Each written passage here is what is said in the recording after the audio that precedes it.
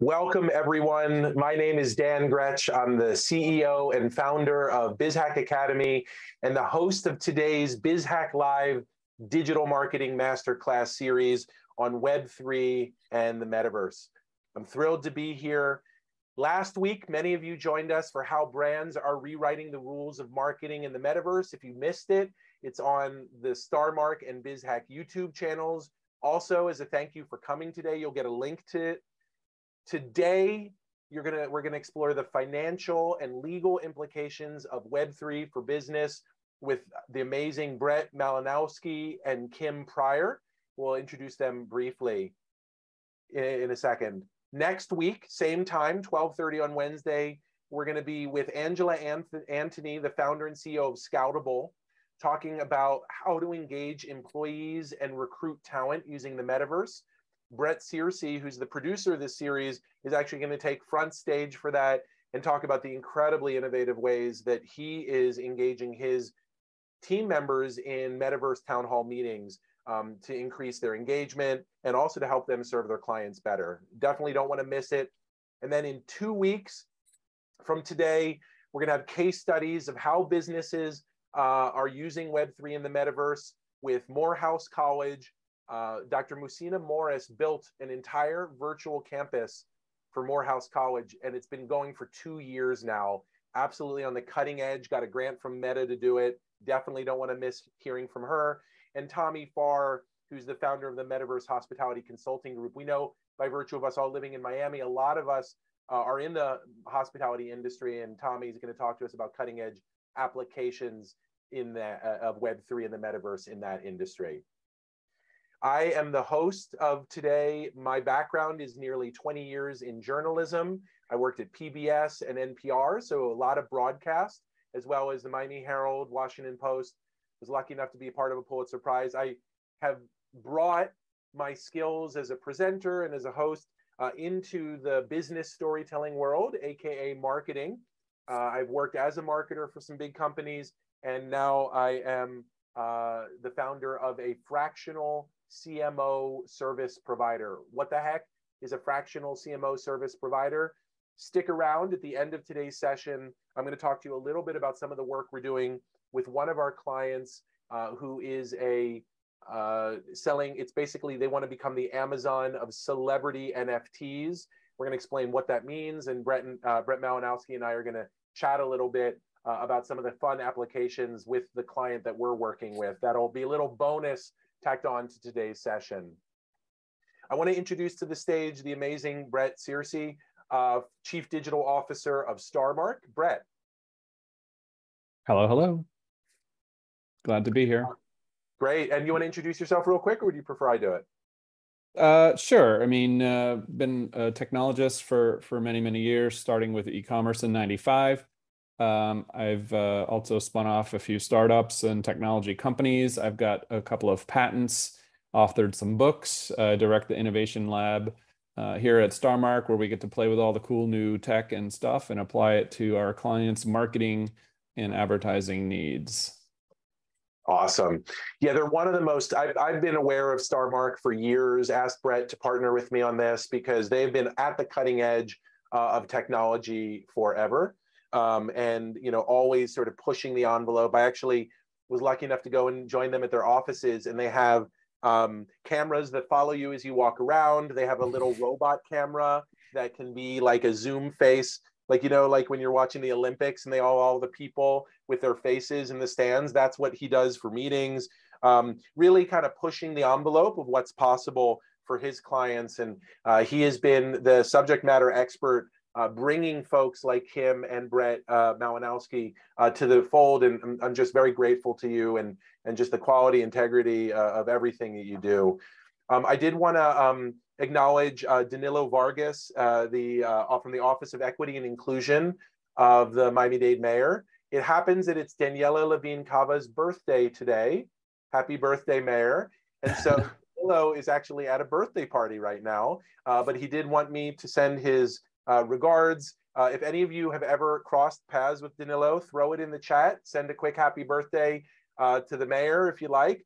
Uh, we're very grateful. The mayor actually has funded this series uh, as part of their commitment and dedication to equity and inclusion uh, for small businesses. And we're, we're, very grateful to be the recipient of, of that funding and, and to have the Office of the Mayor's support in these efforts. We also are lucky enough uh, to have uh, the Miami-Dade uh, uh, Bar Association as one of our uh, sponsors for today's.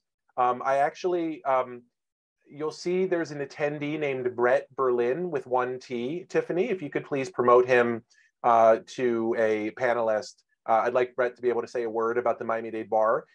It's Florida's oldest bar association and it's Florida's largest bar association. And um, we uh, are focused on legal issues. You know, Kim uh, Pryor is a Miami-based uh, lawyer. And so um, I just wanted to give 30 seconds to Brett, uh, a dear friend. Um, uh, he has completely re re remade and rejuvenated uh, a century-old institution. And I, I, just wanted to invite you to, to say a few words. Um, you're on mute, by the way there. We're proud to be a part of this program and we'll continue to support everything that uh, that you and BizHack is doing for the community. We are not just an organization of lawyers, but are focused on community service and are here to partner with any of you if you have some ideas where you think some lawyers would be appropriate. Thank you, Dan. Yeah, thank you. And feel free to throw into the chat, um, you know, any information you want about how to learn more about the work you guys do and, and, and the benefits of membership. I also wanted to acknowledge our media partner, South Florida PBS. Uh, I have a background of working at PBS. In fact, I worked at a show based out of WPBT uh, here in North Miami. Uh, very grateful for their partnership. And these are two of the more than two dozen community partners uh, chambers of commerce, foundations, American Marketing Association that have helped promote this product to their members. And we're so grateful uh, for your uh, partnership. Now let's get to the fun stuff. I wanted to start by welcoming Brett Malinowski, an NFT entrepreneur, young enough to be my son, uh, established himself as a pioneer within Web3. How can we talk about the metaverse and Web3 and the next cutting edge uh, of, of digital technology and not have a, a, a young person uh, in the mix. And um, this is this is not just any young person. Uh, more than 100,000 subscribers on YouTube um, brings incredible expertise and integrity uh, to the work. Um, we know that this is a fraught space with lots of scams and fraudsters. Brett Malinowski is a guy to follow. He is going to give you good, reliable, trustworthy information. And it's going to be, as you'll see, he's also a ton of fun. He's got a lot of fun examples that he can share. Um, uh, Kim Pryor uh, is the co author of one of the very first textbooks worldwide on blockchain and Web3 law. And um, it's a very emergent field uh, of law. And there's a lot, a lot, a lot that we still don't know. Um, and Kim is going to help guide us on what is known, what's not, what's in debate. And she's also, I hope, going to throw a little bit of cold water on the conversation. Uh, your role today, Kim, is to be the lawyer who's lawyering these crazy ideas that we're going to talk to you about because there are a lot of I would call them like uh, almost like landmines, legal landmines in this space. And you could very easily have massive tax implications on seemingly innocuous decisions. And so, as a business owner, you, need to understand the, the reward and the and the opportunity, but also the risk. And so, so Kim, uh, she's going to be our um, our lawyer in the room today as we talk through some some really uh, exciting opportunities. Kim, it, it, would be very boring if we just had you lecture on us to us about law. So what I would prefer we do is really have you respond to a lot of the examples that Brett, uh, the Bretts are going to be bringing up. Uh, and and as as such, you, you, will naturally start talking about the state of the law. Um, but you know, we we want you to um, temper our over enthusiasm and give us all the right warnings and caveats that every business owner, every CEO needs in order to actually successfully uh, foray into this space. The bottom line, guys, is this is the future. This is Web 3. Web 1, the internet. Web 2, social media. This is Web 3. It's happening already. It's further along than you realize. Businesses are already making tons of money in it. Entrepreneurs like Brett who are you know barely old enough to drive a car uh, or or vote uh, are now uh, hugely six. I'm kidding, Brett. I'm going to give you. Uh, you know, I, we, I, like it. All right. We, we talk about diversity and inclusion, and part of that is you know giving youth voices a space to talk, and so we, we love having you here. Uh, and I will give you shit the entire time. Excuse my language. Um, what can you expect from us? You can expect a recording of this session will be shared uh, with you and a link to our YouTube channels for BizHack and StarMark. At the end of the four sessions, we're going to compile all of the best practices into a summary so that you basically will have a checklist uh, of to-dos. Um, so don't feel like you need to take a ton of notes. You're on the, by the, the very fact that you're here today means you're in the early end of web web 3 and metaverse adoption. So wait until the end of this take the checklist and just follow it. Don't feel like you need to get started right away. We'll compile all the best information from four hours of guests uh, into a very usable document. You'll also be automatically be enrolled in the two upcoming ma- uh, masterclass sessions but we still we this is an incredible service incredible high quality guests. You know i have an npr and pbs pedigree please share this. Think of two people who you think would benefit from this. Tiffany's going to throw the link into the chat. Today's webinar is the financial and legal implications uh, of Web3 for business. We have no assumptions here of knowledge. And so I'm going to start, as we always do, with uh, Brett Searcy, who's going to give us a little bit of definition around what Web3, metaverse, NFT, and blockchain mean. Thanks, Dan. So just a quick uh, background. Um, when we say Web3, what we're trying to say is like the 3.0, the third version of what the internet is or may become. Web 1 was more about the development of websites. Web 2, everybody considers to be social media.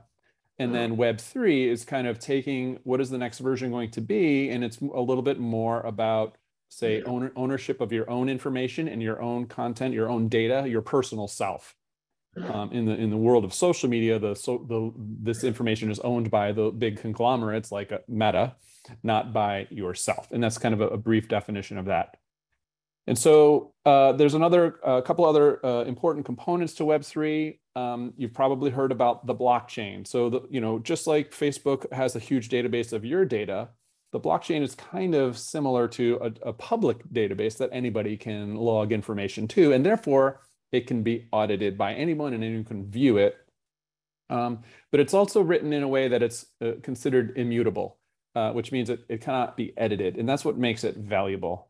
Um, crypto coins started as a proof of concept to prove that this blockchain immutable ledger could work. That was Bitcoin. It did prove that out to be true. Um, and then other things started being added to this uh, immutable ledger. Um, and uh, things like uh, NFTs or non-fungible tokens. And basically it started out with crypto art, and we'll talk about that a little bit.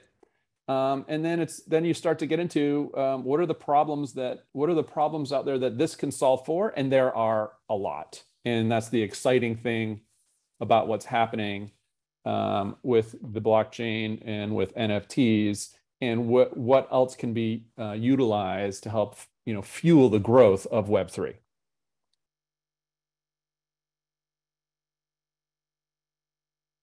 So, you know, the metaverse is an idea that's not new. It was described in quite vivid detail in a book, a science fiction book in the early 90s called Snow Crash by Neal Stephenson. Uh, I'm reading it. I totally encourage you to pick it up because it's insanely accurate to what has emerged in Roblox and Fortnite and all the games that your kids are playing, they are actively engaged in a metaverse.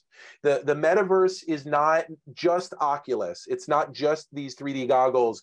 Um, the, the marketing primarily is happening inside of the metaverse, but it's part of a larger revolution called Web3 that's built on uh, a foundational technology called blockchain, which allows for the radical decentralization of ownership. And so Web 1, right, is kind of more similar, like nobody owns the internet. But Web 2, most of the, the big activity is on the big platforms owned by LinkedIn, TikTok, Instagram, Facebook. And, and that's the big difference between Web 2 and Web 3 is there's at least the possibility and the hope for a very non-corporate, more communally owned space, more similar to what Web 1 looked like.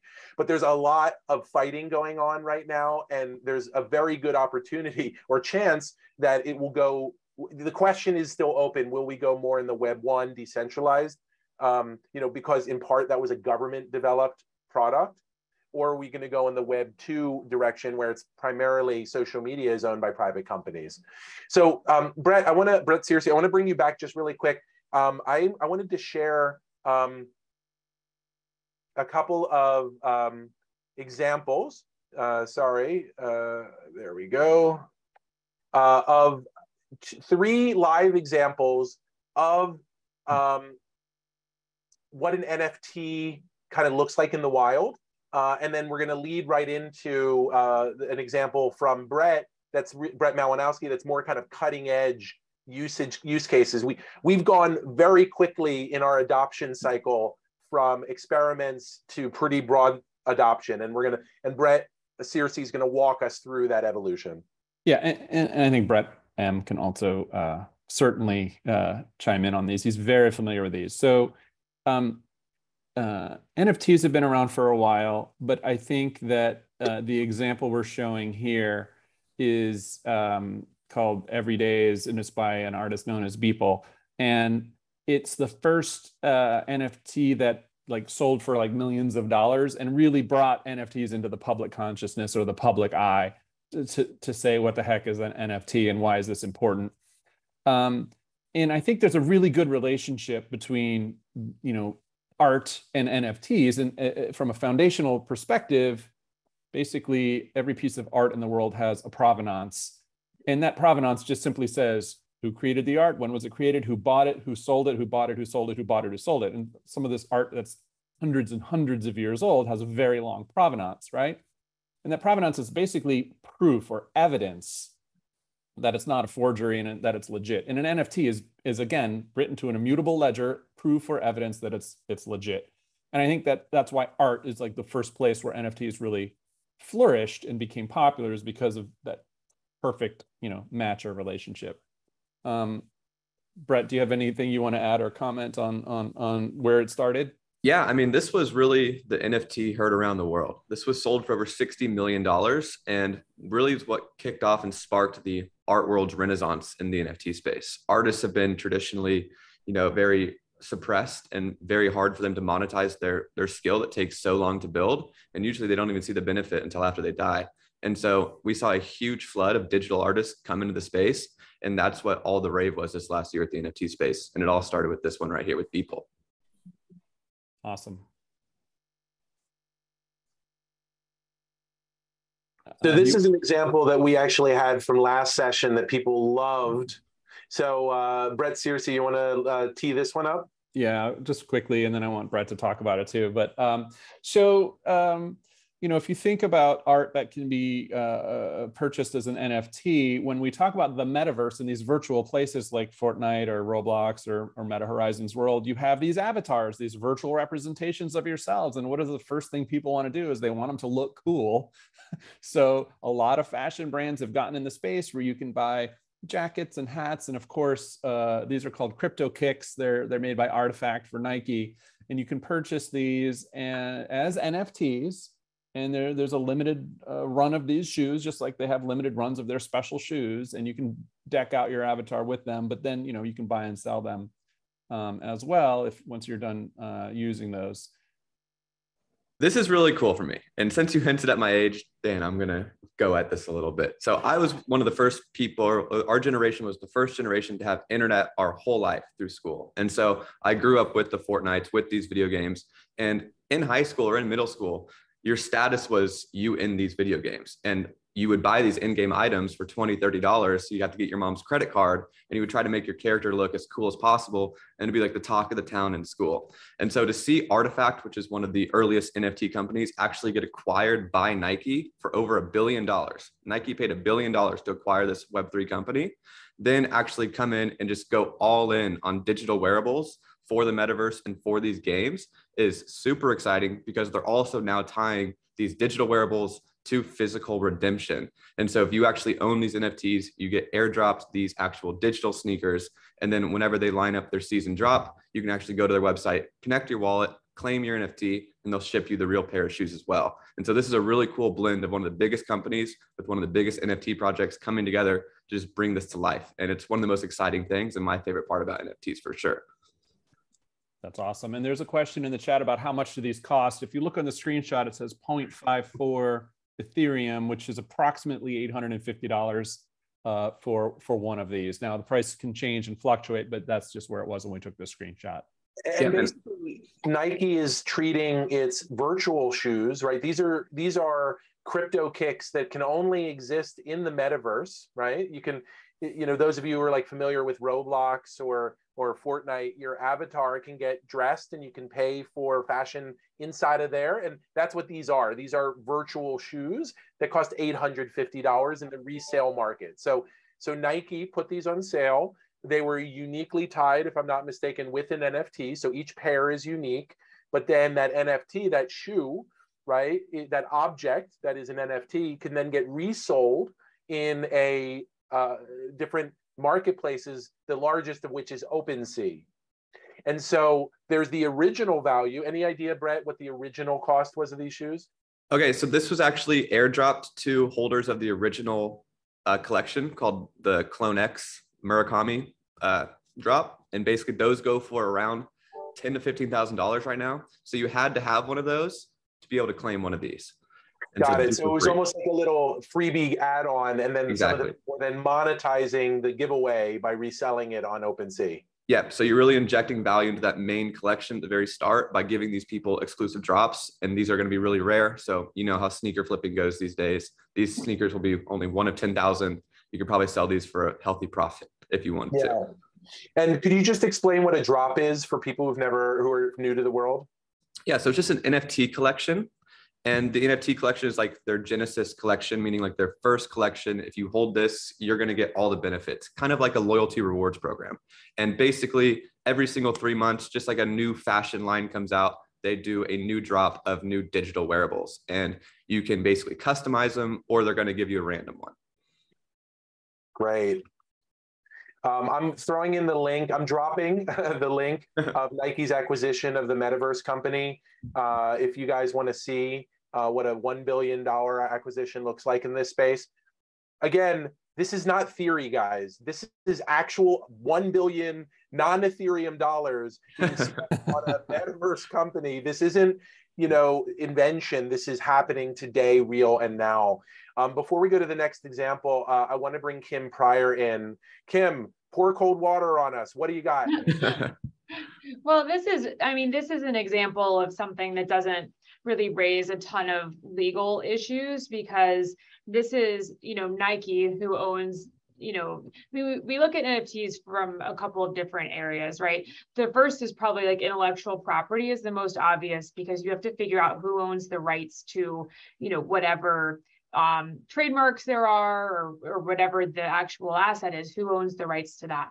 So nike is the one that owns the the trademarks. They they own the intellectual property for their their brand. So the fact that Nike issued this, you know, pretty much we can be, you know, pretty comfortable that there's no IP issues here. Um, now, if I were to like make a copy of this and then start to promote it or do my own NFT, then I'm infringing on Nike's IP rights, and that's a big problem.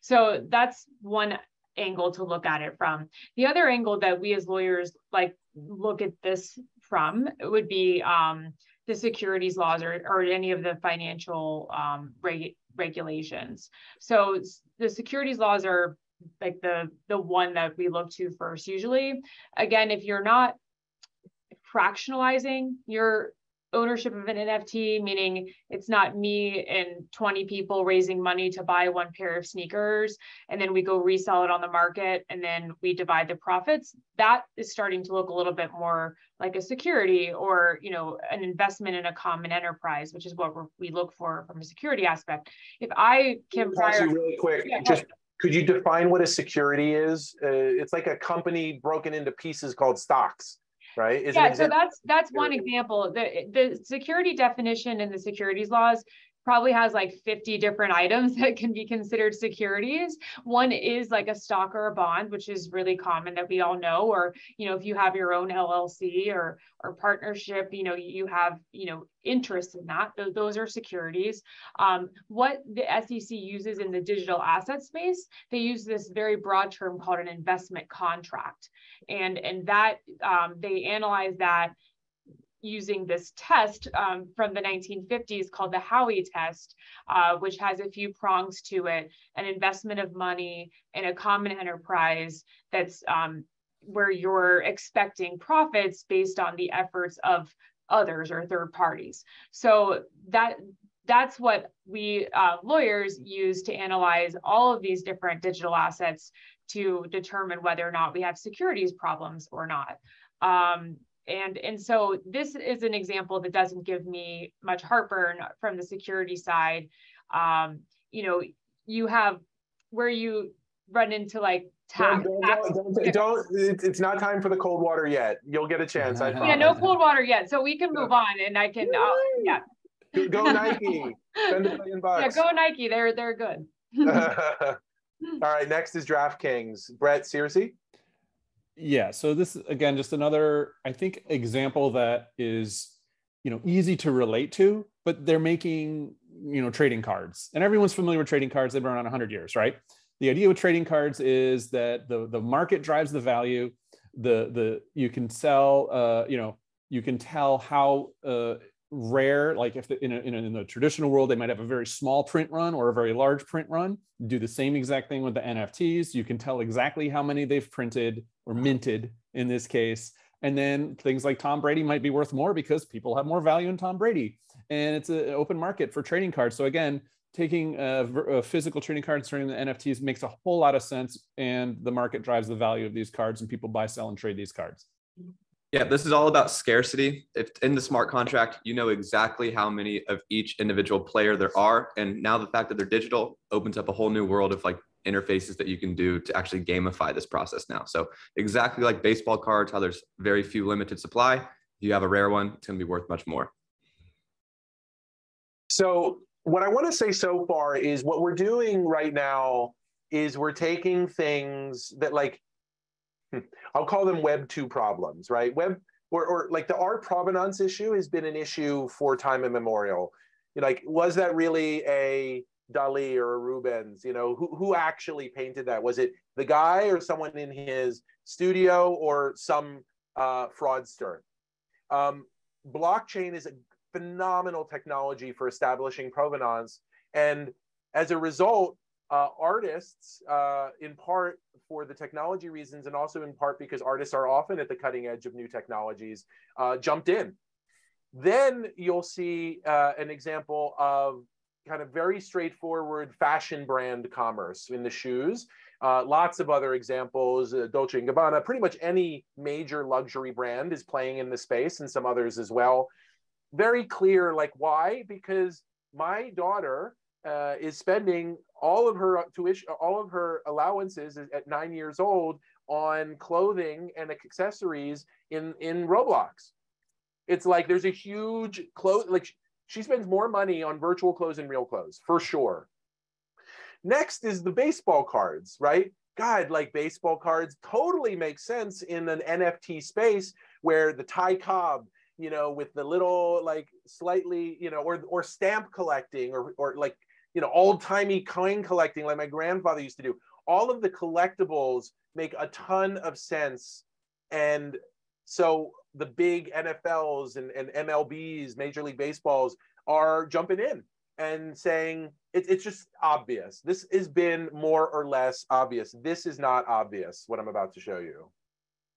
So Brett Malinowski, talk about the restaurant in Miami, Komodo.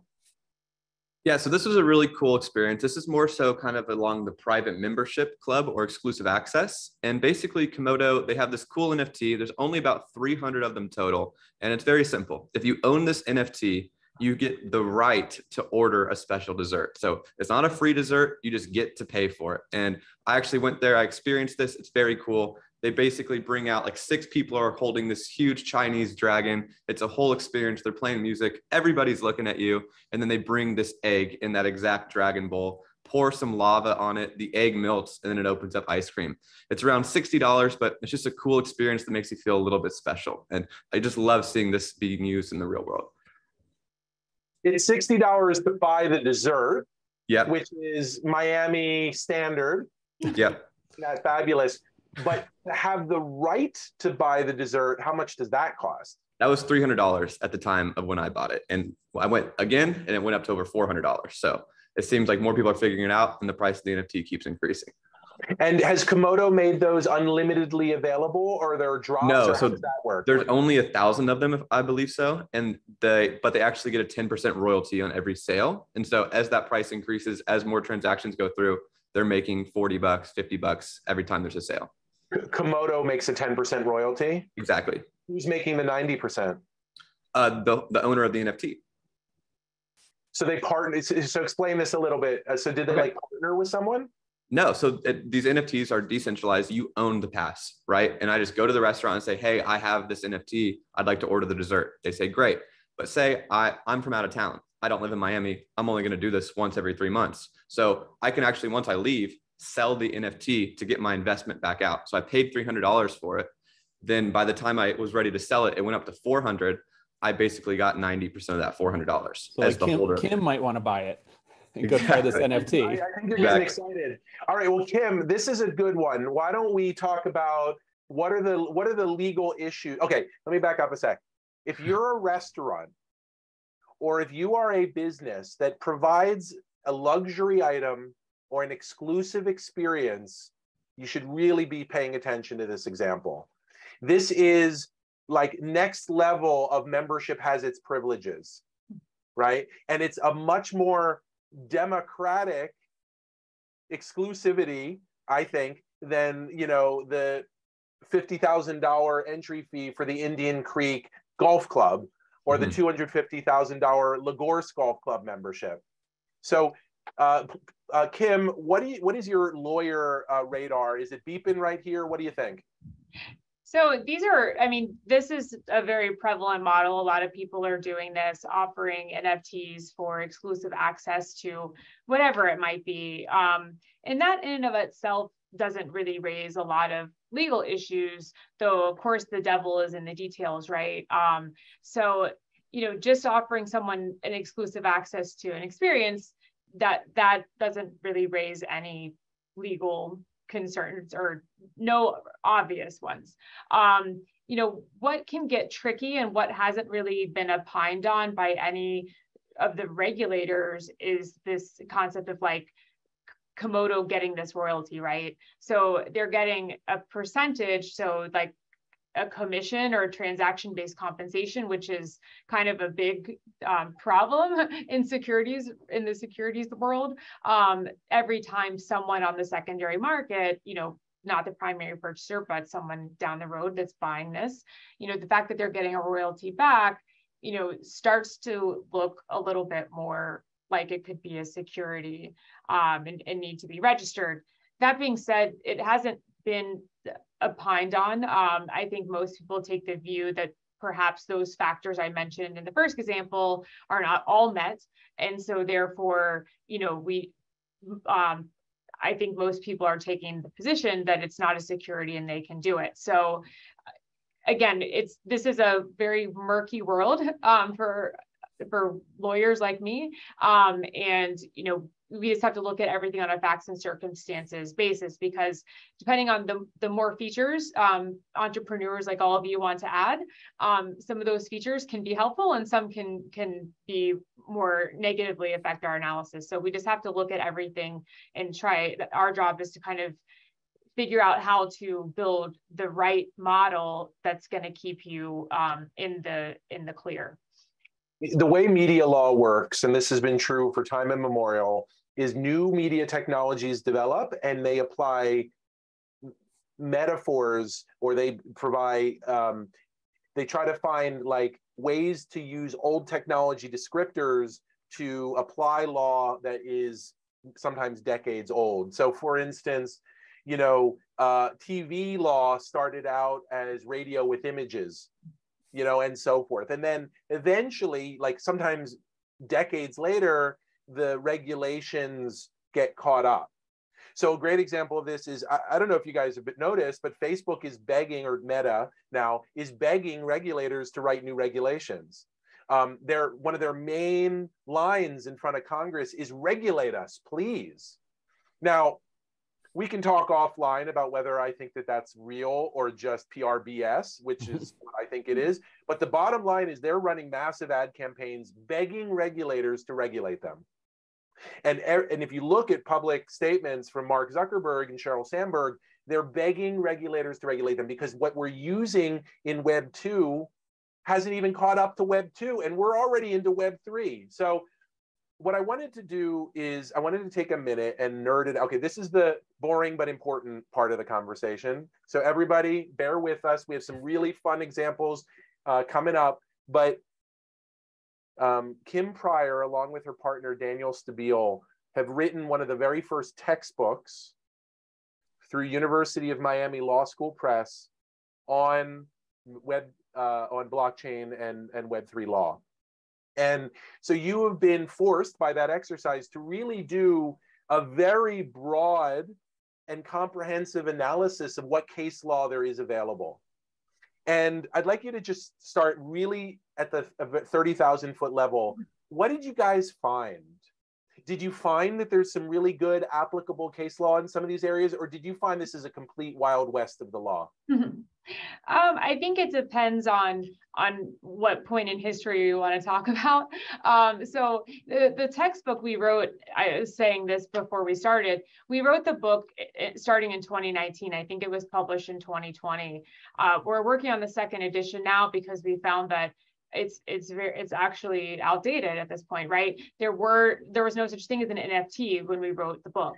Um, and there was no such thing as a stable coin when we wrote the book. And um, and also the regulators have have you know done so much um, in that point. And you know to, but to answer your question you're absolutely right that we're applying old laws meaning like 1930s laws depression era laws um, the securities act the securities exchange act um, you know commodities acts i mean they've been updated over time but they're very old antiquated um, and you know, we do have legislation pending, um, though it probably won't pass due to the midterm elections. But but Congress has taken notice, right? There's many of these companies, um, Coinbase and, and others that are paying lobbyists a lot of money to go in and, and try to advocate for, for legislation. Because you're right, not just, you know, in in um, Facebook's case, but also the large um, crypto companies. They want re- they want regulation or certainty, right? They want to understand what are the rules and tell us the rules, and we'll play by them. And I think that is m- mostly what our clients say to us too.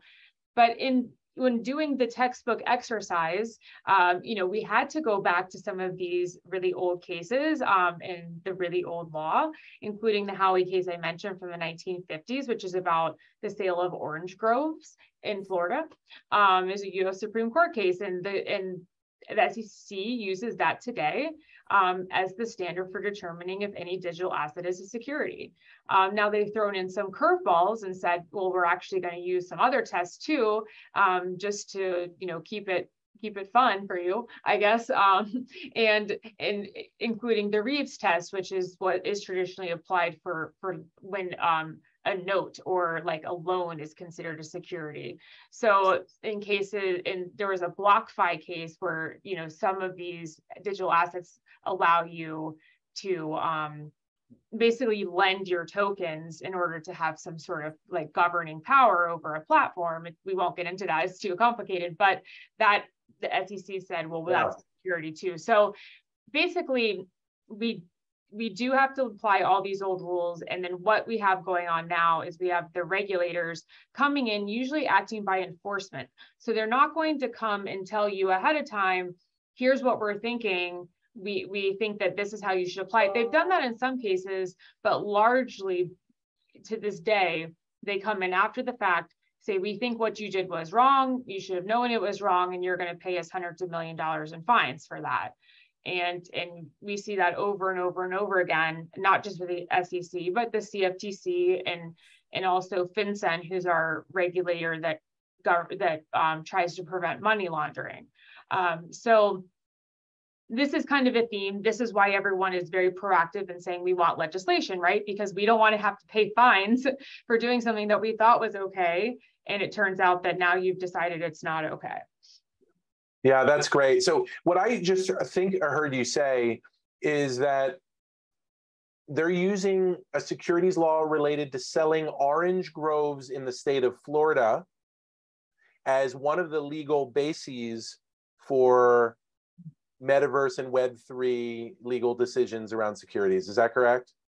Uh, that's the 100% correct. That's okay. the primary. So like, yep. Yeah, so so that's where the law is, guys, right? Is we're we're we're we're you know regulators are kind of doing their best to find because because ultimately the legislators are not doing their job arguably which is making law because congress is basically in deadlock. And so if you are a enforcer of securities law you have to just draw from what's available and and build analogies right? And and that's where lawyering comes in. I did want to ask you um, what is the what are the number like one to three top use cases uh, if you could quickly that people come to you asking for help with? Just sure. really quick. Sure. Yeah so um, i think that you know a lot of token issuances or digital asset issuances and that can mean i want to raise money by doing a token or i have a platform and i want to use that token to pay for certain, like in the Web3 environment, right? If I, I have a Web3 and uh, platform and I want people to be able to use this token as currency within that platform. So, so, so a token is like a cryptocurrency that's usable within a specific uh, metaverse? Yeah, correct. So correct. So, Robux is a token. Yeah. Okay, keep going. And then and then NFTs. Um, those are very all very common um, questions, right? People, developers saying, I want to issue this token for one or more purposes, or I want to issue multiple tokens for one or more purposes. And, and how do I do that in a legally compliant way? Yeah. Uh, that, that's one kind of bucket. Another so, so tokens and NFTs. So if you're interested in using tokens, which is basically like digital currency within your meta world, because there's real money that's buying it and being exchanged at the behind the scenes there, uh, you know, or NFTs. Um, how often does someone come to you with a token or crypto uh, or NFT question, and the answer is we don't know? um, I, I don't know that the answer is always we don't know. I think that we will say um, it's not clear, but the conservative approach is right as follows, right? So, um, you know, at the end of the day, it's usually a business decision for the client. We'll give you the pros and cons. We'll give you the the your the arguments in your favor. And at the end of the day, a lot of you know, depending on who you are, where you are. I mean, you know, practically speaking, the SEC, the CFTC, they may not go after you know small business X. They're going after the really large companies, yeah. but it still doesn't mean there's no legal risk, right? So so uh, I know you had some other examples, but before we get to that, this is definitely Brett Malinowski's world. So Brett, you've been on the other side of this conversation where the lawyer is pouring cold water, telling you the risks, telling you the worst case scenarios, and then your client is, we're doing this. So tell me about your perspective on what she's saying regarding legal uh, risk uh, for NFTs and tokens.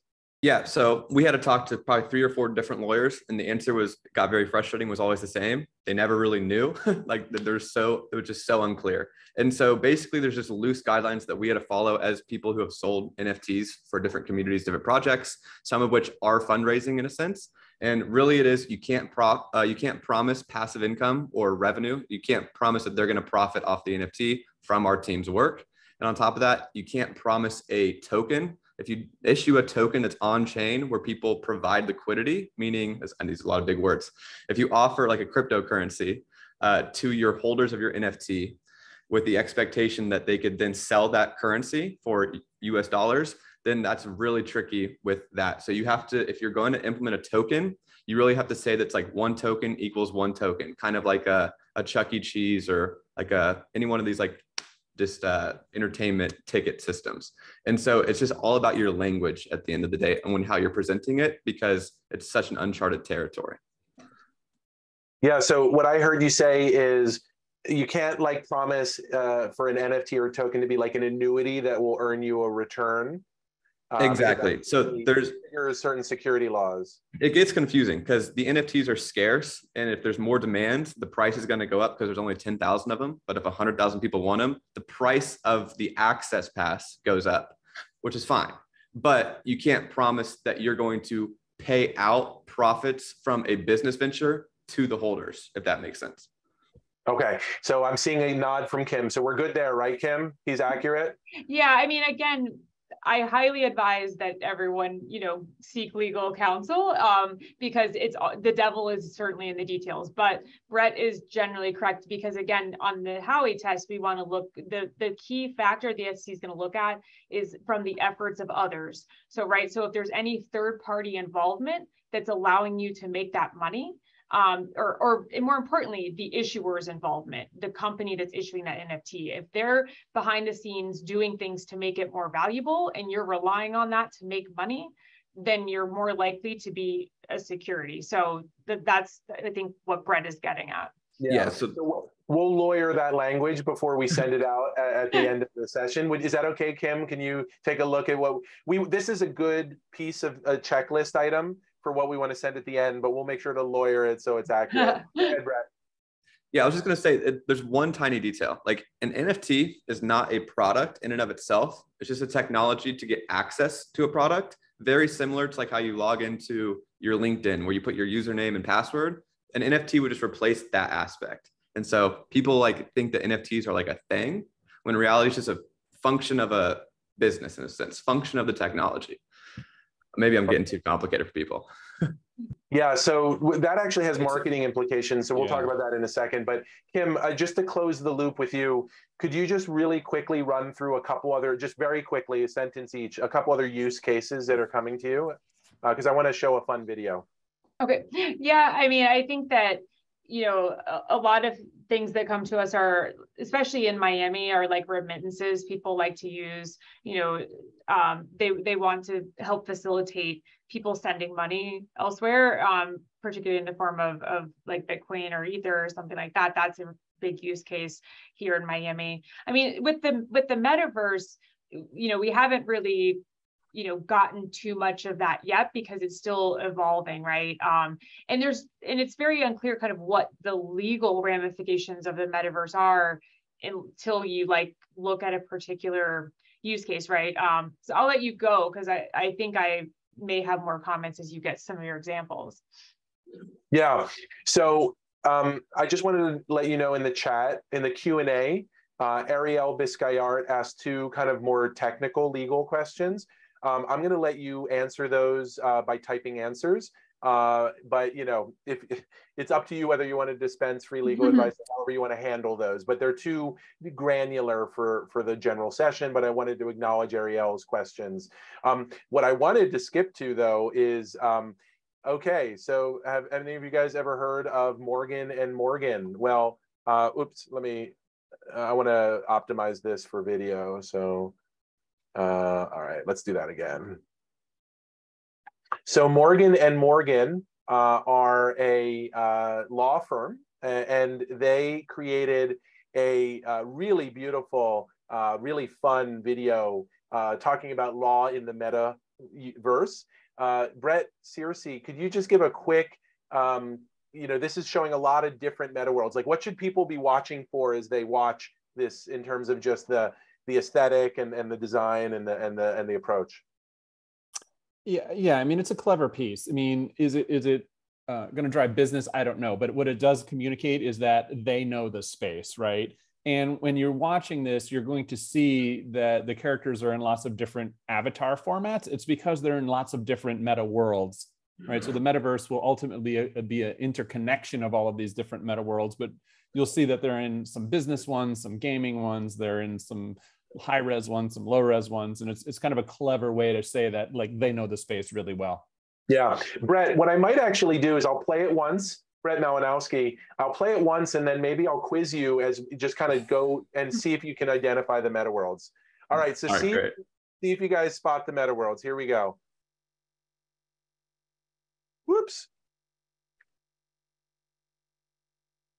There we go. I'm John Morgan of Morgan and Morgan. As millions flock to the metaverse, many are experiencing unnecessary pain and suffering, terrible car crashes, frightening trip and falls, and on-the-job injuries. Our army of over 800 attorneys and 4,000 support staff have recovered billions for clients just like you. Injured? Just dial pound law. That's all. Morgan and Morgan, America, and now the universe's largest injury law firm. I love that. I'm John Moore.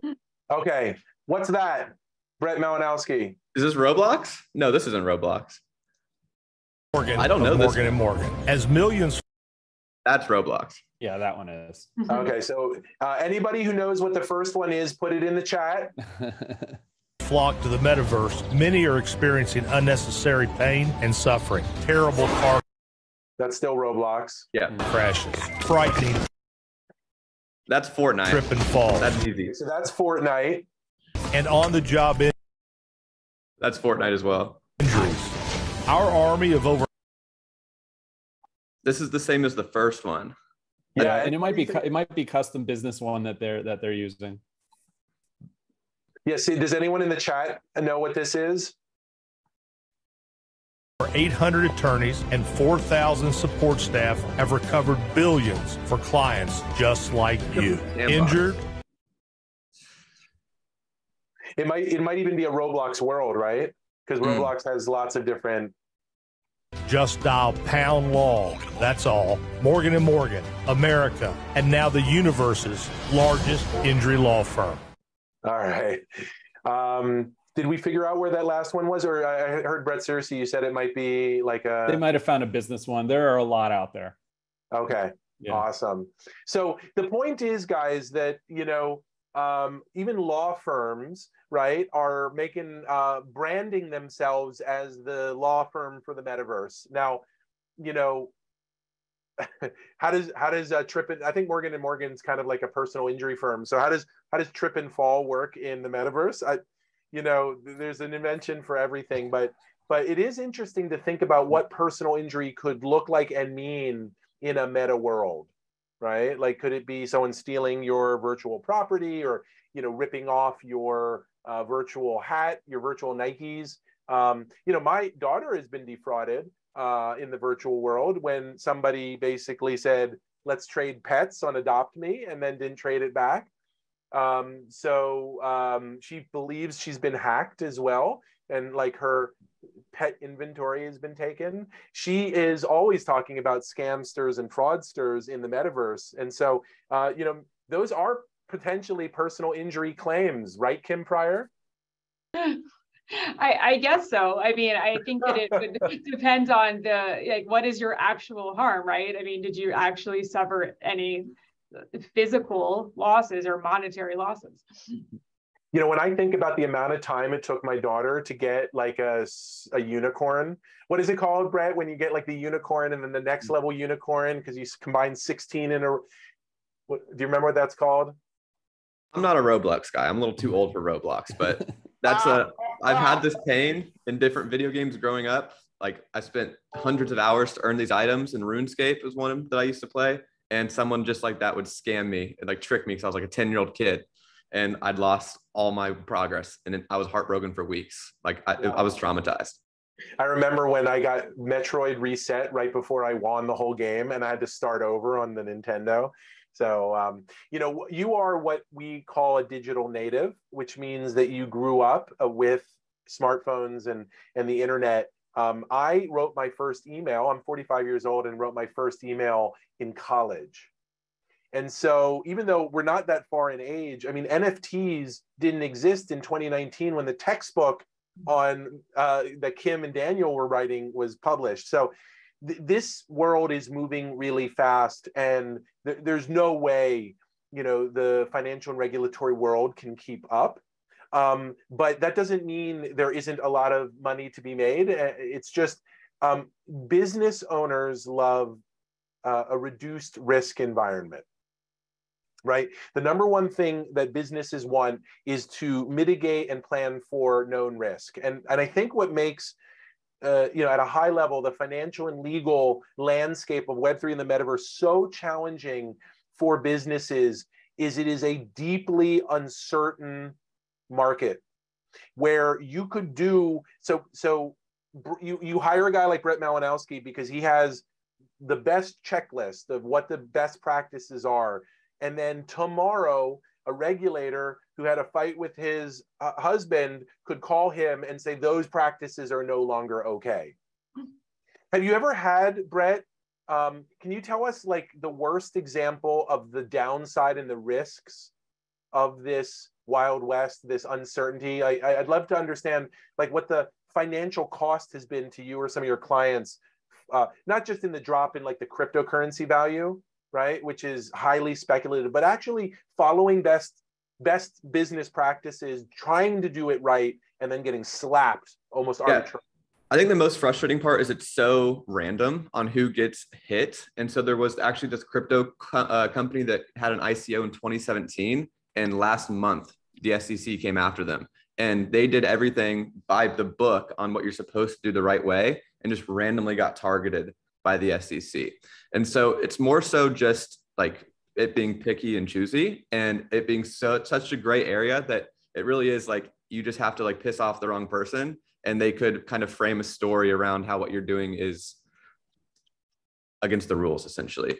And so there's not there's a lot of just little different various problems but it's just very frustrating because there are a lot of people that are like egregiously just like scamming and like trying to get your wallet address, trying to get access to your wallet and steal money from you. But it seems like more resources go into finding people who are trying to do it the right way.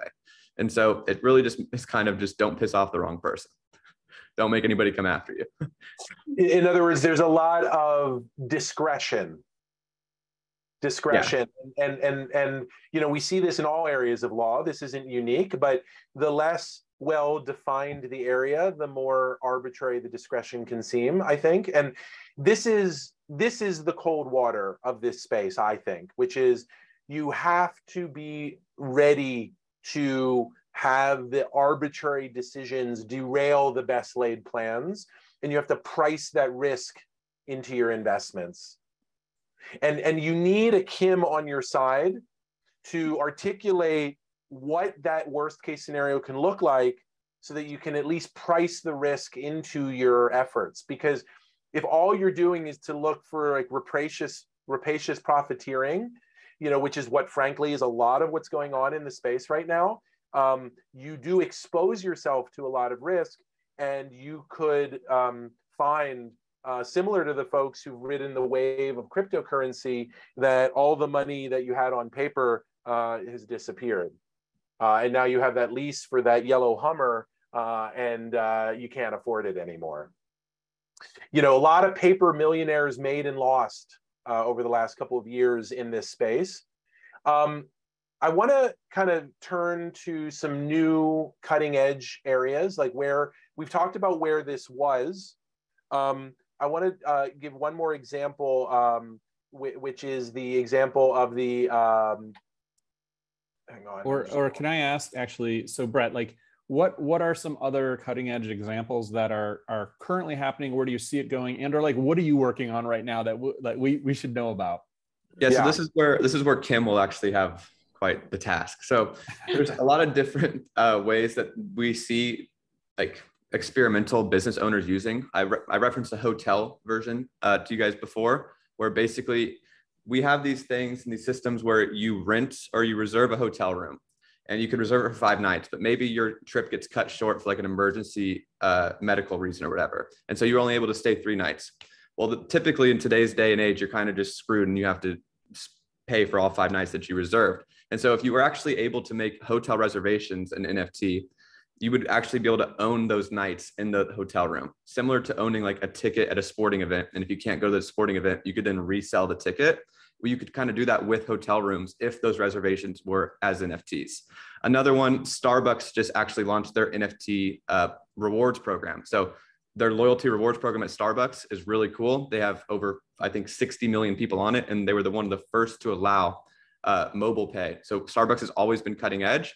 And if they actually implement NFTs into their loyalty rewards program, it, you, they can actually segment different targets of their customers. Like right now for Starbucks, it's you pay $5, you get five points. It's very linear. Where if they actually implement NFTs, they can actually start doing different types of loyalty rewards for their higher end customers, people that are buying like their second, third, fourth product lines. And then also their baseline, they can kind of encourage people to be educated because if you like go through a 10 minute course, you can give them an NFT to commemorate that they went through that, and then you can give them rewards with that. And so it really just democratizes and segments stuff in a much more uh, specific and targeted way based on your customer base. So there's infinite possibilities, but those are the two right now that like really excite me.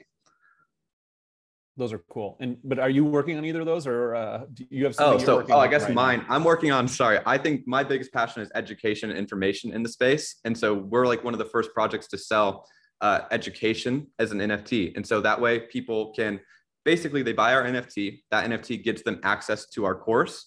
They can take it, learn everything they need, and then once they're ready to actually, you know, practice what we teach, they can then sell the NFT to get their investment right back. And so it's just a much more fair way to present and sell information because it kind of holds us accountable since now there's a public floor price to our education. If what we're selling is completely useless, no one would buy it. The floor price would go to zero and the world would know. Where right now it's kind of just like a review system like Amazon. And if anyone has done Amazon, you know it's pretty easy to buy reviews, have your friends make fake reviews, and kind of deceive people. Where a floor price is much more, uh, much more hard to disguise, if that makes sense. Awesome. That's amazing. It's just a new way to sell access.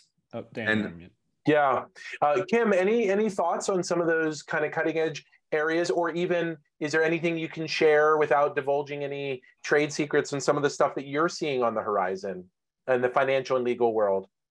Yeah, I mean, I think that, you know, again, it, one of the best parts of this aspect of my job is getting to work with creative people like Brett um, and seeing, you know, their their ideas. And, you know, we as lawyers want to do our best to not you know squash that creativity or, or or try to harness it more than we have to.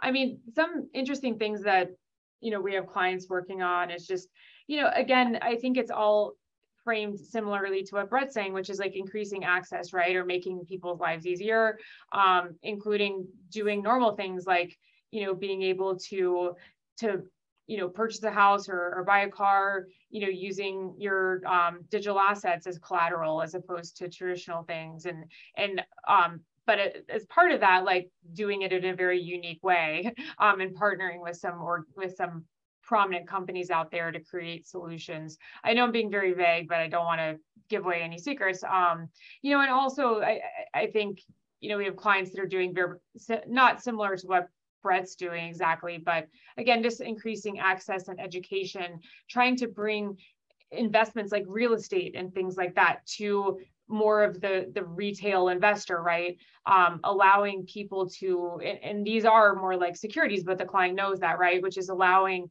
you know anybody you know, why do we have to have accredited investors? You can have very, very smart people that don't make $200,000 a year that know exactly what they're doing. Why can't they invest in something very basic, right? Um, or, or not basic, but something that they understand. Um, so people are trying to create access to, you know, investment opportunities and platforms to, you know, a broader range of people real estate syndicates are getting really popular where people yeah. can have like 100 nfts if you have one of these nfts you all can invest into like a group fund. Yeah yeah.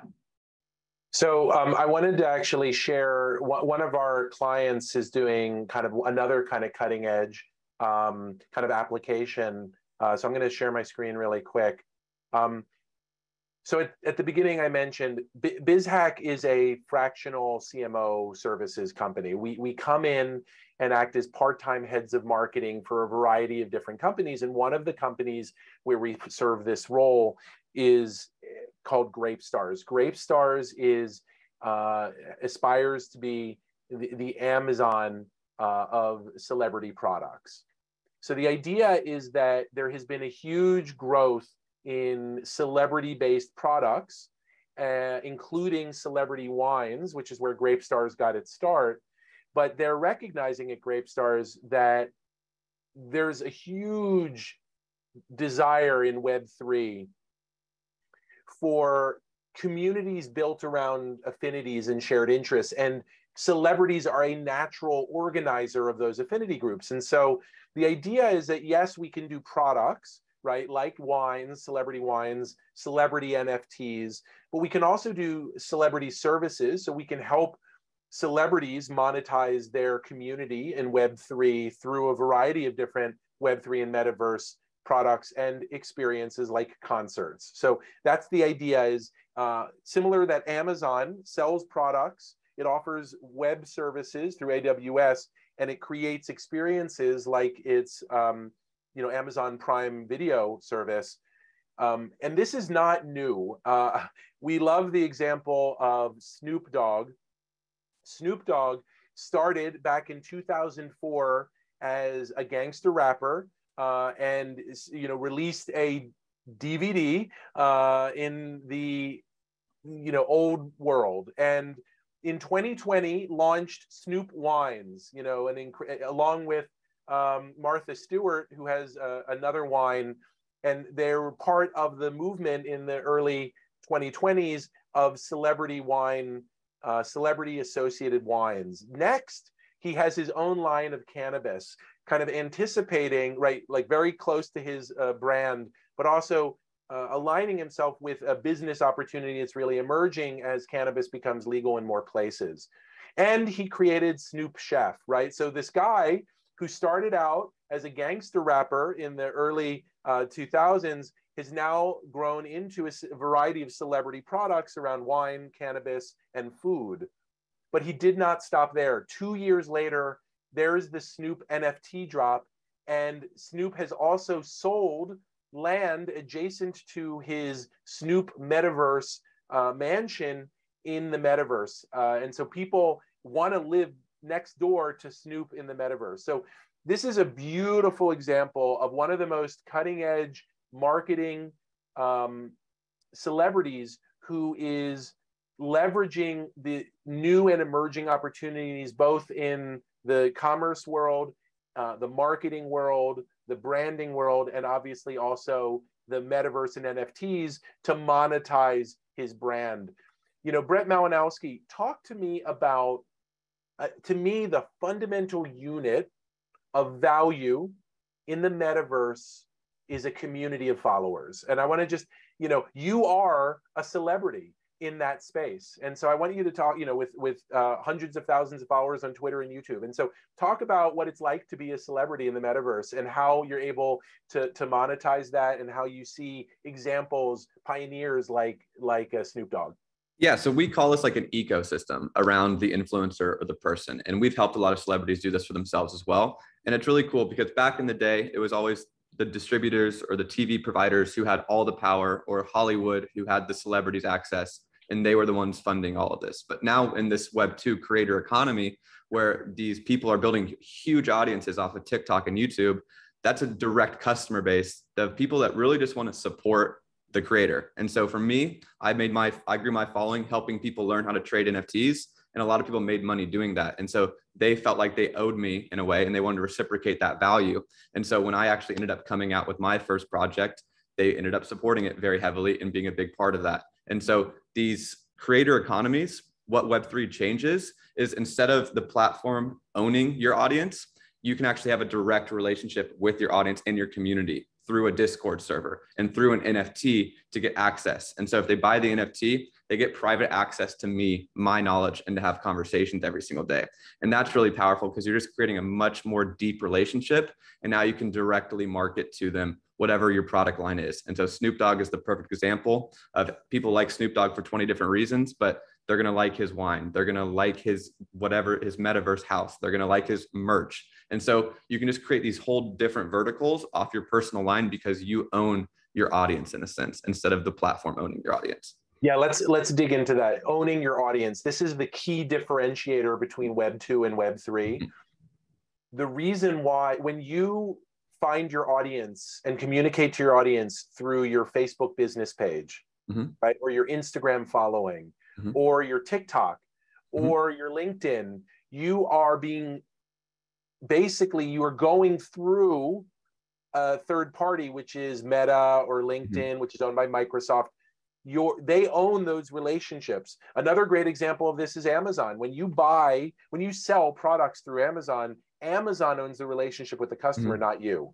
Mm-hmm. So the idea of Web3 is disintermediation. Get that middleman out mm-hmm. and let you have a more direct relationship and monetization of it. The other thing it does is it empowers your fans to monetize you.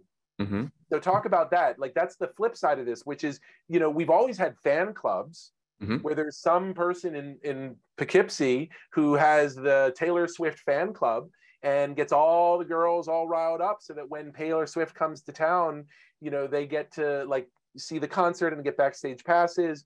But now that girl, that fan club of Taylor Swift can monetize, maybe even partner with Taylor, get a mm-hmm. license, and make a ton of money together. So, talk a little bit about how the, the balance of power shifts not only to the creator and the celebrity, but also to their fans. Yeah. So the key distinction is if you're on YouTube, right, you let them run ads on your platform, but you don't choose what ads they run, and they're taking 80% of that ad revenue and just giving you a small piece. And so you can just transfer your audience over to your own platform. And the cool thing about this, onto your point about like kind of like IP rights, is we're seeing this with Bored Ape Yacht Club. If you actually own a Bored Ape Yacht Club, you own the IP of that, and people are putting that on their beer cans. Or we have like ape water coming out we saw a big brand in Miami, Full Send, make Happy Dad with apes on it. And because it has that IP, it's doing really well. And so this is really cool because you can have your own website, your own platform, sell an NFT. The NFT gets you access to that platform. And now, if you are an NFT holder, you could get the rights from Taylor Swift to sell her merch or to sell her likeness if she so pleases. And so it's just putting everything on your own platform and then actually giving your audience the right to own your platform as well. And so it's just a very intimate relationship that you can create with your audience. And it really speaks to a level of collaboration mm-hmm. that is more aligns incentives. It aligns the incentives of both your audience and your brand. So if you were able to create a brand where you have a million little micro entrepreneurs mm-hmm. monetizing mm-hmm. your brand and sharing with you in the profits through licensing, that is a really exciting opportunity. Now, tell me, Kim Prior, uh, who's going to sue me, what SEC official is going to knock on my door, and why I'm going to get arrested for doing that. I'm sorry for what for which part? Let's say I'm Taylor. No, you're Taylor yeah. Swift. Uh-huh. Uh, Brett Brett's Taylor Swift. I I, I, I like that better. huge Swifty. I love her. My daughter loves her. I went to the concert. So let's say I'm uh, Brett is Taylor Swift, and I am Dads for Swifties. Right. So I love and I create the Dads for Swifties uh, metaverse. I create you know a whole brand of Dad for Swifties apparel, all with the with the with the uh, imprimatur and the okay from Swift Enterprises. Okay. So my question to you is like. what what what are the perils and risks for dads for Swifties in a scenario like that where you're the fanboy who's mm-hmm. monetizing a celebrity brand with their permission? Yeah, I mean, if, as long as you have their permission, um, then you should be okay from an intellectual property perspective. I mean, that would need to be pursuant to a, like a formal licensing agreement, and you need to make sure that you're within the parameters of that licensing agreement, um, and that you're not giving anyone else permission to do things that are outside of the scope of that licensing agreement. That that's kind of the basic part on the IP side. Um, you know from you know you also one thing i didn't haven't mentioned before but we need to keep in mind is like privacy rights too mm-hmm. so you know when in in all of these cases you need to make sure that if you're getting you know particularly if you're getting any sort of payment information or any like social security number, anything that's like personally identifiable information, you need to comply with the privacy laws. So that's something as well you need to keep in mind is making sure that you have adequate protections of the information that you're getting from people when you're setting up, you know, any sort of business, but in particular like a platform like this, um, and making sure it's not being shared without people's permission, et cetera. Um, you know, from a securities perspective, again, would depend really on like what benefits are you providing to people um, and you know is there anything that you know for instance if you want to have a token within this place where people can you know buy and sell things and you know they have to buy the token and the token is tradable on the secondary market for more than people pay you know those are things that then you look at and you say okay is that token a security but just doing the platform itself and it's just meant to exchange ideas talk amongst you know you know talk about the latest concerts um you know her Oscar nomination, whatever it might be, um, that's probably not going to be a problem from securities perspective. Great. Yeah, selling the NFT would be like the license to have the right IP rights to sell likeness. The NFT owning the NFT gives you that right automatically. That's kind of how people are using it right now. So if you bought an NFT from the originator, that is implies a kind of permission to then resell it. Permission. Yeah, like if Spider-Man, if Marvel or whoever it was made a, an NFT, they could sell that NFT, and now you have, if they say so, you have the IP rights to license out and sell the likeness of Spider-Man or whoever it may be. Well, and to that point, it's very important when you're going to buy an NFT to read those terms and conditions Super very, important. very carefully. Yeah. Right. I mean, people, I think there's an example of like someone buying a book, right? Um, in the book, they thought they were buying like the rights to the book itself, but they were just buying like the book for like hundreds of thousands of dollars. Um, so you know you have to make sure you're really reading the terms and conditions to know exactly what it is you're buying and making sure you are buying that license right? And that you're not just buying you know a copy that you can't right. you're, you're not you're not buying the harry potter series television rights. You're just buying a physical copy of the book that you can get for 30 bucks at barnes and noble. Right right. And, and if you're not careful you could waste a lot of money on that. D- do you feel like um uh, is there is there is there a way, Kim, for folks who are really interested in this space, like Ariel Biscayart, who's kind of blowing up with questions. By the way, there's a question for you, Brett Malinowski, uh, in there for you from her. Um, is is there are there resources that you would recommend that are are trusted and reliable, but also kind of cutting edge and up to date that you Yeah. follow for the legal and financial stuff that you would recommend that we Yeah. follow too? Yeah, I mean, for me, I rely on CoinDesk a lot. Um, so I just go CoinDesk. into CoinDesk and you can set up your preferences for all kinds of alerts. I have a lot for legal and regulatory developments. I probably, and as well as market developments. So, you know, I get five or six emails from them a day, but um, I do find that they are like very on top of um, legal developments, including enforcement actions. Um, they're pretty, you know, they're pretty you know intelligent coverage. Um, my other recommendation which i mentioned to someone was i'm a member of the digital chamber of commerce um, as well as i know a number of people are. I think you have to be a member but if you want to be really involved or even be active as or just want to know about what's going on in washington um, if you want to be kind of on the cutting edge and understand what's going on behind the scenes i think they're the most plugged in of anyone i've seen um, as far as kind of being able to read the tea leaves as far as where things are going. Um, Okay, so as a journalism kind of media organization, you have CoinDesk and then the Digital Chamber of Commerce. Yep.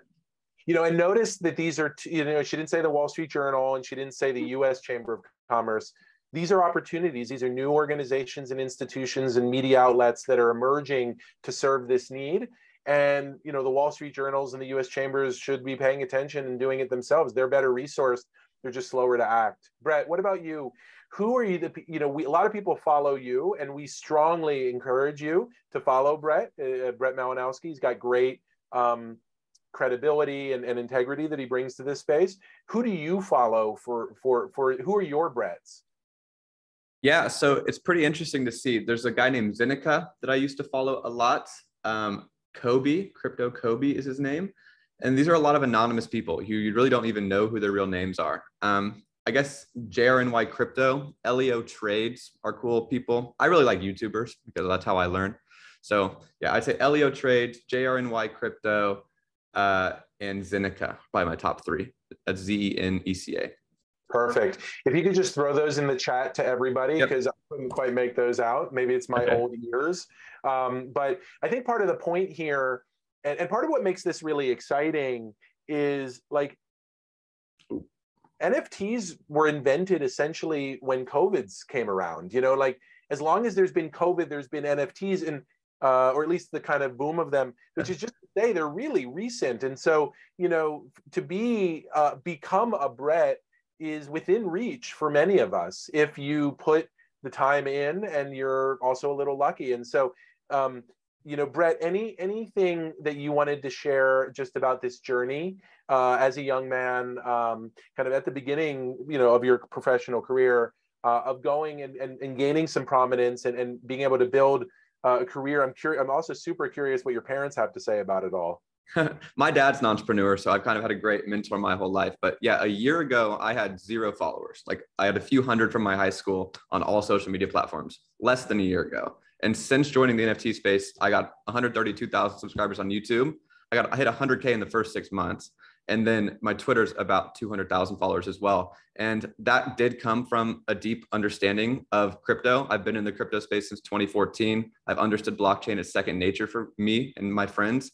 And so I definitely benefited from that. But I think it was just like a right time, right place, right skill set, right knowledge. And it's just provide value for free. Like give people, teach them for free and see what comes from it. And they're going to bring that right back to you. So that's kind of been my philosophy. But this is single handedly, in my opinion, the biggest opportunity for anyone in our generation uh, since the internet. And since it's really just democratizing ownership, I don't think there's any other place I'd rather be working. And I'm grateful to be in the position I am. But I think uh, we have some pretty cool ideas, and I'm excited to see these all come to life. So it's not it. popular right now. People still think I'm crazy. you, know. I, I think I'm crazy for not, you know, jumping on your bandwagon. That's the truth. Um, let, us I want to do a quick diversity and inclusion lens on this, um, uh, and then we'll wrap up. So, um, you know, we are sponsored by the Office of the Mayor's Diversity and Inclusion, uh, Equity and Inclusion Office, and we've been very conscientious about bringing on um, a diverse set of guests, including age, you know, backgrounds, genders, and so forth. There almost feels to me like there might be a reverse age bias in this space, like anyone, you know, don't trust anyone who's over 30 kind of thing. Mm-hmm. Um, and I'm so curious, I'm kind of curious about that, Brett. Like, do you feel like your youth in the end is actually an advantage in this space? 100% there's a there's a big advantage because we understand digital how digital ownership is important and status because we've been spending thousands of dollars in these video games our whole life and that's been a core proponent of our life. So understanding that at a fundamental level and living it your whole childhood as your brain's developing just is a huge advantage in and of itself. Me and my friends we don't even use paypal cash app venmo anymore. We just send us the ethereum address. If you ask me to send a bank wire i get really scared and confused and it's like seems like such a big process. Like i have to find eight different lines of information, account number, transfer number. It scares me. Just send me the Ethereum address. It's open 24 7. It'll go through today. So I think it's just second nature to us at this point. And then, Kim, you know, this is technology in general is a space dominated uh, by men. Uh, maybe even we could call them tech bros. um, and so I'm wondering, you know, as a woman in this space, how you've experienced um, some of the you know gender bias that lives in a lot of cutting edge technology spaces. Yeah. I mean, I think that, you know, unfortunately, it does exist sometimes. Um, and this industry isn't really an exception. I mean, that being said, I mean, I do think that there's, you know, I have a lot of female colleagues in this area um, of all ages, um, young and older, um, as well as, um, you know, there's a, a, lot of female entrepreneurs out there and developers, and um, there's a lot of networks, in, in fact, even in Miami, of like female, um, you know, or you know, women that want to be involved in in blockchain or crypto or you know, web3 any of it. So you know i encourage everyone to you know get involved in those you know organizations um, you know, if you want to be around, you know, like-minded people and um and also, you know, but what I do find about what I really like about the digital asset space, and it's been that way for a long time, is the really like one of the um, primary drivers of it has always been like inclusivity, right? And, mm. and opening exactly. and, and having it available to everyone. Like one of the best use cases of cryptocurrency is like providing access to money really to currency for people that otherwise couldn't like you know people in the in the middle east like women in the middle east that aren't allowed to have a bank account right?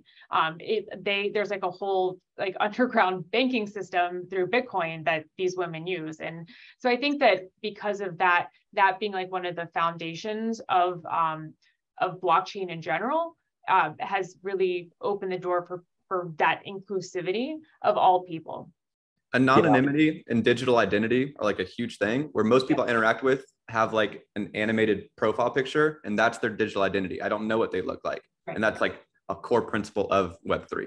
Mm-hmm. You know, that is a fantastic, fantastic segue to our next week's guest.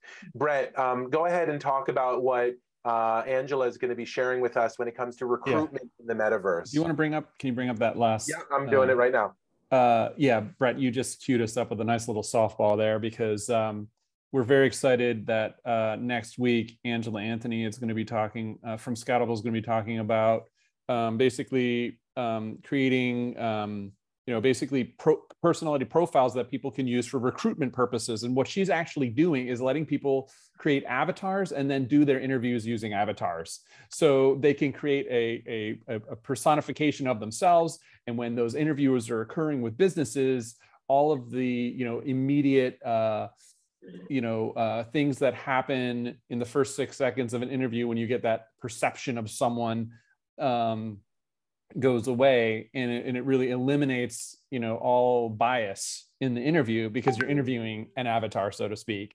Uh, plus she also is using the metaverse to um, help people find uh, identify skill sets. Uh, it's truly fascinating. I'm very excited to have her uh, next week um, as as our guest. And you'll be one of our guests as well. You want to just give a quick preview of what you'll sure.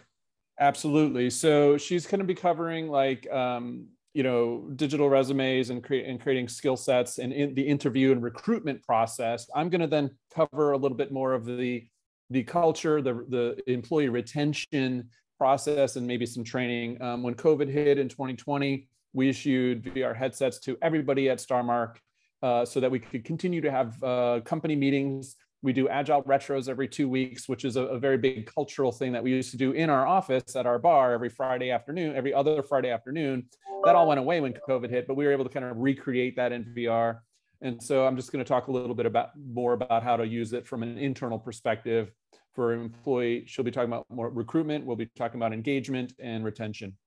And you know, this is a business imperative for Brett because a lot of the, uh, just like my clients are entering in the NFT space and the metaverse space, so are his. And so by getting his uh, employees comfortable of interacting in the metaverse, they're going to be better at able and better able to serve marketing needs for their clients.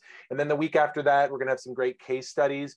If anybody who's here today one thinks they know a good case study or potentially could give a case study for that last session, we welcome your uh, you know uh, uh, recommendations, uh, you can go ahead and email uh, us uh, or put that in the chat.